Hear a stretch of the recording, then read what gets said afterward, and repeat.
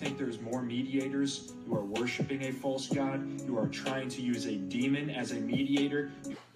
So this gentleman right here is taking over social media by storm. You may recognize him as somebody who's had millions, if not tens of millions of views on social media for his extremely controversial beliefs uh, in regards to pretty much rebuking people for their beliefs in whatever it might be. So I've never watched a specific video, but we're going to watch it together today to see and do maybe a little bit of a reaction to this gentleman's beliefs and views and see if God would agree with what this gentleman is doing. So without further ado, let's do it. Video is going to be why Catholicism is a false religion. It's going to be short. I'm just going to use a couple verses to help you understand why you should definitely steer away from Catholicism. In Ephesians chapter 2 verse 18, this is talking about Jesus. For through him we both have access by one Spirit to the Father. Access by one Spirit to the Father. Not by Mary, not by the saints. And I'm going to jump back in. This is going to, I'm going to say, structure that verse a little better. So the first thing I want to address about what he just said is, you know, one of the reasons he's he's rebuking and calling Catholicism evil is because of their emphasis that they put on Mary should people be putting as much of an emphasis on marriage, Mary, excuse me, as they do in the Catholic Church? The answer would be no. No, they should not actually. But does that actually make them, in essence, evil? Because again, evil is implying unsaved, right? We wouldn't call somebody evil who is born again, obviously. So, um, is this a, a primary issue that will determine the salvation of a Catholic? No. Also, generally this extreme view of Mary is a more of a Roman Catholic thing. The average Catholic that you bump into on the street is not going to believe that Mary is the only way you can talk to, to, to, to God or the only or, or, a way of salvation or something like that. That's not what your average Catholic will believe, but let's carry on hearing what he has to say. In 1 Timothy chapter 2, verse 5, listen to this. For there is one God and one mediator between God and men, the man Christ Jesus. One, singular, no other. And why is it so dangerous? because you can't go through the saints and you can't go through Mother Mary. And in Revelation, when John bowed down to the angel by accident, that angel rebuked him. Because we cannot pray to the saints in heaven or Mary. Someone else is listening, and it's not a saint. And then John 4.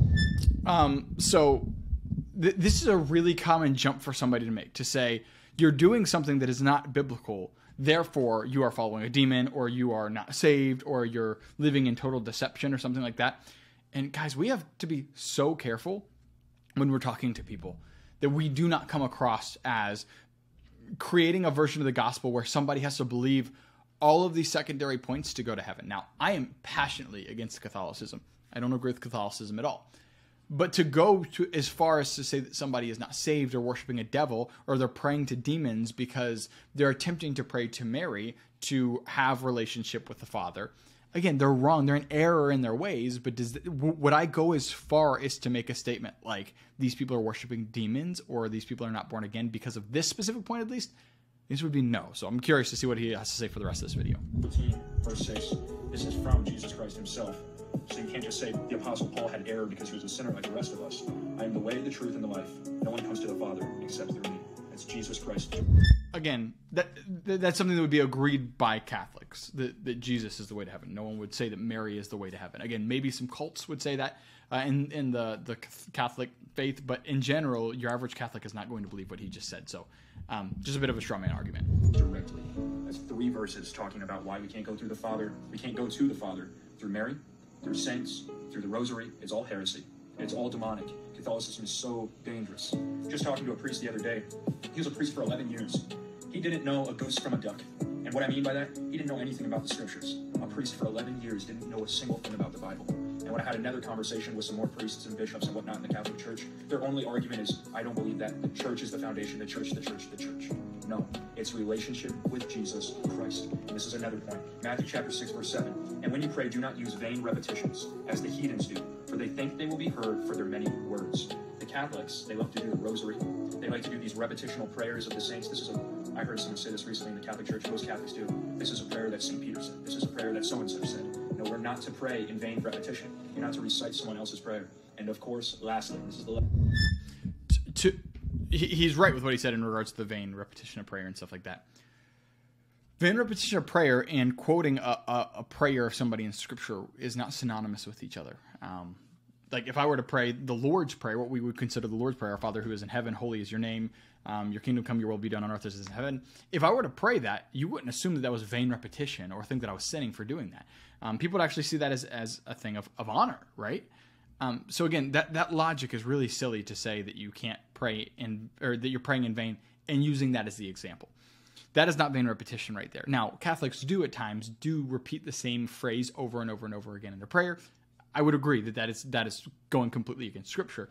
But again, that is not a reason to say that somebody is not born again. Because like you have to be really thoughtful with the wording, the verbiage that we're using when we're talking to people. Because to say that somebody is not born again for a reason like this is first off, it's not true, and second off, you are putting a burden on somebody that Jesus is not putting on them for their salvation. Like only like n- not praying in vain repetition. Like, have you done any sin? Have you committed any sin? Have you been in error in any of your theology? Because if that's the case, you should be concerned that you're not going to heaven with this gentleman's logic in this. So again, I think it's a very poor jump to make. So let's see what else he has to say. The last point I'll make: Jesus gave us a command called "No man father except the Father in heaven." Catholicism is wicked. It is evil. It is a false religion. No Catholics are going to heaven who are idolizing saints and who are idolizing Mary. There is one mediator. Thanks for watching. So he, he's right. There, there is no there are no Catholics who are going to heaven because uh, that, that do idolize Mary or the saints. That's true. But if you idolize pornography, sports, your job, your family, you're also not going to go to heaven. So to caricature this thing of you know beating on Catholics for the idolatry problem is, I think, very silly. Um, and, and then also he had tried to use the phrase from Matthew 23 where he says, "Call no man leader, teach your father, but the grace among you shall be a servant." He, again, that's correct. But you can't call out Catholics for saying that and not call out Protestants for all calling everybody a leader or a teacher. We call everybody leader this or teacher this. So we're doing the exact same thing. We're just using the two phrases that are we're not father. So you're cherry picking in this passage, uh, or yeah, in the scriptures, how to beat up Catholics. So um, the only thing that he didn't hit on that I would have agreed with him on would have been the conversation about salvation. Catholics believe that you are saved by grace through faith and works. The Bible teaches in Ephesians 2 8 9, for it is by grace that you've been saved through faith, not of your own works. This is the thing that brings people into eternity, the thing that brings people, provides people salvation. And he didn't even mention that part. That is the only point that I would mention if I was telling a Catholic that they weren't born again is I would emphasize this aspect of the fact that they're not believing that Jesus is the way to heaven, but rather Jesus plus works is the way to heaven. This is the one singular fundamental principle that they believe that you should be fighting tooth and nail. Not transubstantiation, uh, not their rosaries or praying to Mary or confession, those things are all bad and wrong, but they're not the main thing that will keep somebody away from an eternity with Jesus. They believe the same thing a Muslim believes in the sense of their good deeds can, in part, save them.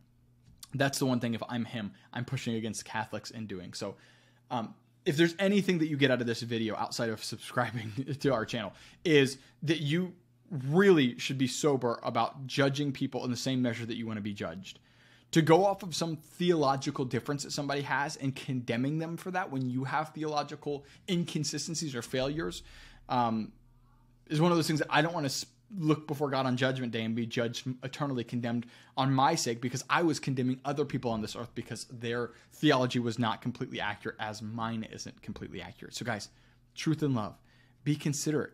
Speech season with salt. I'm not saying to agree with everything somebody says. I truth and love disagree with people on a daily basis on things that they say. I'm not mean about it. I'm not telling them they're just going to hell because I don't agree with them. We need to be cautious of those things. And we should subscribe as well. That'd be just help us get this out to more people. So appreciate you all. Love you all. Chat with you guys in the next one.